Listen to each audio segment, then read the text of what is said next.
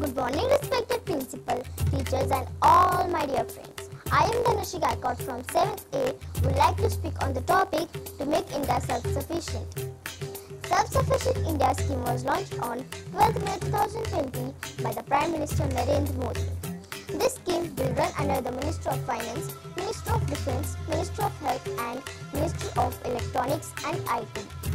The main motive of this scheme was to make India self-sufficient India so that we can minimize at least small things.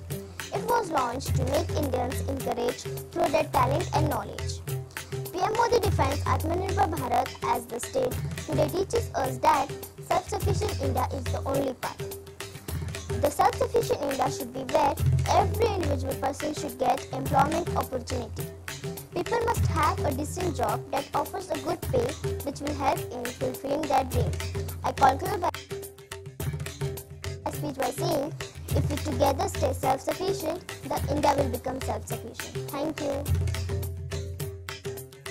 Good morning teachers and all my dear friends. My name is Farah Rajesh Ranade. I am from 8E. Azadi Ka Amrit Mahotsav is an ongoing celebration to commemorate the 75 glorious years of a progressive independent India. We have come a long way and we need to reach a still magnificent heights. How to make India self-sufficient is my topic today. To understand the topic, let us first focus on some important aspects in which we are dependent on other countries and where we preliminary need to become vocal for local. The first aspect I would like to touch is oil and gas. 80% we are dependent on other countries for oil and gas. We have to import oil and gas in foreign currency. That means that if the rupee price goes down, it is a major cost we have to pay for the same. Today we have seen economics collapse due to the rising price of oil and gas. Latest example is Bangladesh and Sri Lanka. In India, we are very lucky to have ample sunlight, many seas and a mobilized wind. Therefore, we can dwell with solar energy, tidal energy and make use of water in the sea. And with the help of electricity, separate oxygen and hydrogen and use hydrogen as an importing fuel. This method is called electrolysis. Friends, if India uses its existing resources, imports may come down. I am happy that the government is working on it at least now. The second important aspect I am going to touch is electrical equipments. Electrical equipments like smartphones and computers are key parts of India's import bill. India has not been able to do sufficient value addition in this field, except for assembly of these items.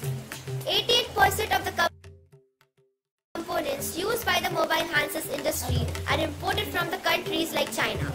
Remember friends, China has always posed in threats to India, let it be corona or usage of plastics or warfarin. The third aspect is logistics and farming. India being an agricultural country, we have overlooked many aspects that could make farming and farmers self-sufficient. We have only focused on subsidies which can be given. Logistics involves the finished product from the farmer to the market where we can purchase it for our homes. The supply chain involves many agents. Actually, the farmer gets very little for his product and the consumer have to pay a heavy price for it. Quite good is earned by the agent, actually only acting as a middleman. If the supply chain is managed well, the farmers will get good returns for his yield and the consumer can purchase it at a reasonable price. This will create a win-win situation. Again, logistics would involve good storage facilities, transportation, modern equipment, etc. Tomatoes which we pay 80 rupees for a kg are just thrown away by farmers the transportation price increases. These are perishable items and we do not have good storage capacity to hold on as China has. Modern equipments are the byproducts for any success stories related for being self-sufficient. Fourth area of heavy dependency is the medical field.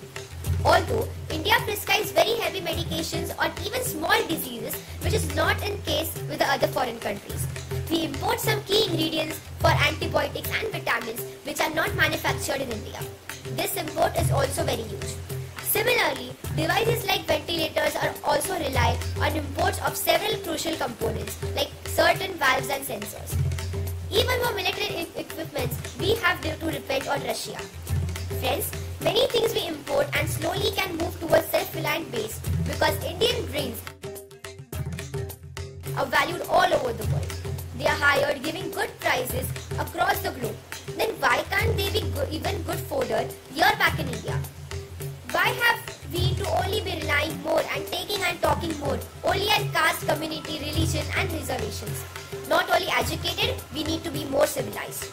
We are very much self-reliant in the textile industry. Why can't we make it globally? Ultimately, we have to be vocal for that what is local.